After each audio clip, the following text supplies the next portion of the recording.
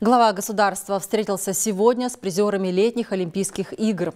Касым-Жумар Тукаев поздравил спортсменов и тренеров с достижениями на Парижской Олимпиаде. Президент особо отметил победу Елдоса Сметова. Поблагодарил атлетов, завоевавших награды на турнире четырехлетия и всех, кто внес свой вклад в их подготовку.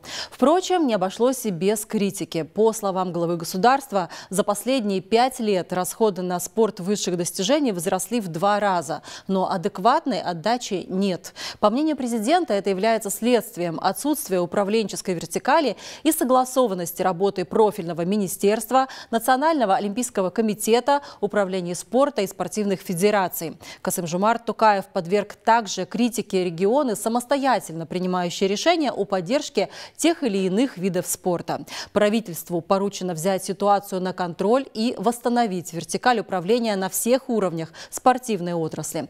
Президент также поставил задачу повысить авторитет Национального олимпийского комитета среди спортивной общественности Казахстана и за рубежом.